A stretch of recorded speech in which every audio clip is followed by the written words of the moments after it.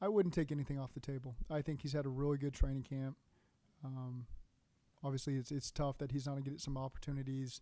You know, it, it's unlikely he'll play against Chicago and Indy. Obviously, um, was looking forward to that. But the guy has addressed everything that we've thrown at him head on and done a great job. And um, you know, he's he's still got the same energetic personality, and, and this didn't set him back at all. And so excited to see how he responds to this. You know, when he gets healthy and gets back on the field.